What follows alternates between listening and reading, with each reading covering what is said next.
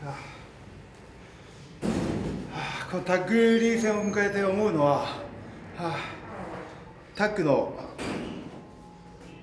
チームとしての熟練度が上がってるチームが多いかな。後藤義橋にしてもそのかなりこう試合の内内容というかね試合のこう展開の選択肢が無数にあってあそういった意味では久しぶりに組んだオラのねチームは不利な点は多い。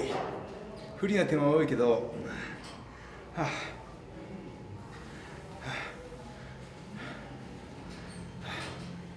ヘナーレがさっき言ったのが心が現れたというか心が現れた言葉があって死ぬまでギブアップしないからネバギブアップティルダイ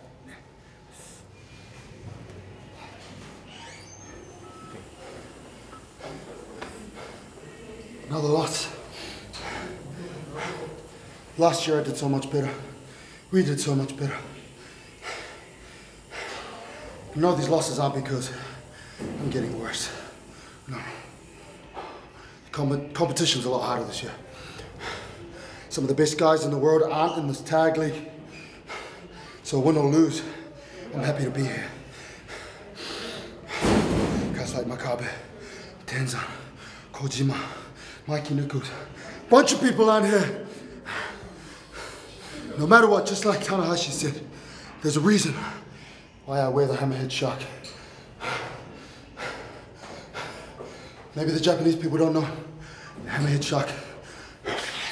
Even if it dies, it still keeps fighting. That's what I'm gonna do.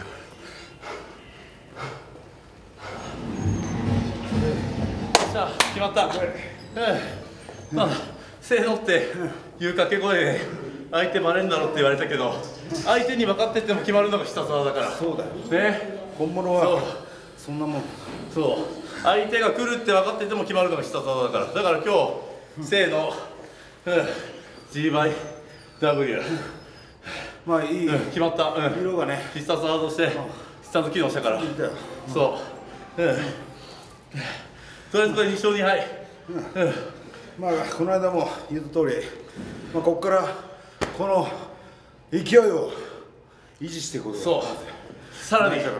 維持して、さらにさらに、うん上に行って高みを目指して、うんタッグベルト脱出するそれがあくまでタッグのベルトをもらうのが俺たちの、うんこのワールドタッグリーグシリーズ一つの目標として、うんやっていきたいから。よし次もせーの。よし